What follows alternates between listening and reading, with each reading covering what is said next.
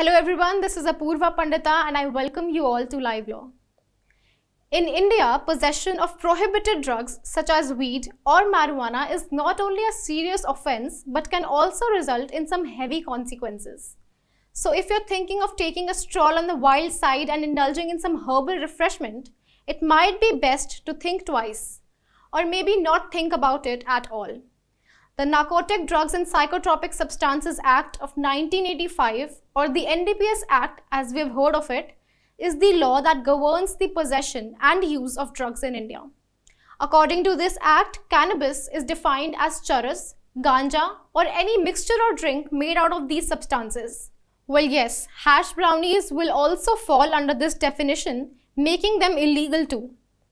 Charas is a separated resin obtained from cannabis plant, while ganja refers to the flowering or fruiting top if we remove the seeds and leaves. However, here's a fun fact. The act excludes bhang, that is the leaves, as a part of the plant even though it technically is.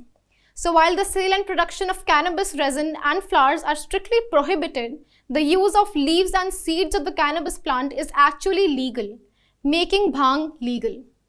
And this brings us to the main theme of our video, that if you're caught with weed, basically you're in trouble. Depending on the quantity you have, the punishment could range from imprisonment to a hefty fine and sometimes even both.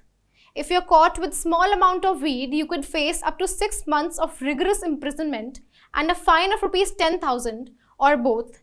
But if you're caught with more than small amount but less than the commercial quantity, then be prepared to face up to 10 years of rigorous imprisonment and a fine of rupees 1 lakh and sometimes both. And if someone is thinking about getting into the business of selling weed, then you better think twice as well. The punishment for production, sale or purchase, transportation, interstate import or export, or any other commercial activity of cannabis is severe. If you're caught with commercial quantities of weed, you could face up to 10 to 20 years of rigorous imprisonment and a fine of rupees 1 to 2 lakh, and sometimes both. The minimum imprisonment is 10 years, in these cases, even the court cannot award imprisonment of less than 10 years. So remember, possession of weed in India is no joke. It's best to stay away from prohibited drugs and instead focus on getting help through de-addiction treatment if you're struggling with addiction. The NDPS Act of 1985, the Juvenile Justice Care and Protection Act of 2000 and various other state drug laws all work together to ensure that the citizens of India are protected from the negative effects of drug use. We are not only talking about active involvement, but even if one is caught allowing his or her property to be used for drug-related offences, and by property we mean to include house, cars and motor vehicles as well, then that person could face charges under section 20 and 25 of NDPS Act. And if they are caught consuming illegal drugs, they'll attract the offences under section 27 which are non-bailable and cognizable offences. Did you know that even attempting to commit a drug-related offence under the NDPS Act can land you in hot water? Well, yes, that's right. Section 28 of the Act states that if you try to commit an offence or even take a step towards committing one, you can face punishment as severe as that for actual offence. So it's better to stay on the right side of the law to stay clear of anything remotely related to drugs although one safeguard given to the innocent persons or to those who are falsely charged is section 50 of the NDPS Act. This section says that the body of the accused person should be searched in presence of a gazetted officer or a magistrate.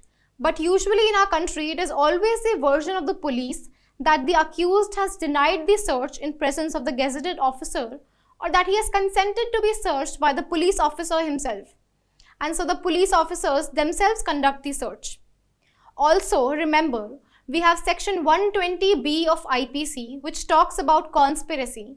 And even if you're not directly involved in the act of possessing narcotic substances, or even if they are not recovered from you personally, but merely because of having a connection to the illegal activity, you can be booked under section 120b of IPC. In our country, most of the youngsters are not aware of the seriousness of the offense and merely an activity of fun can land you in prison for years. And there you have it. While some people out there may think weed to be harmless recreational substance, it's important to remember that it's illegal in India. So if you or any of your friend is thinking of lighting up a joint, don't.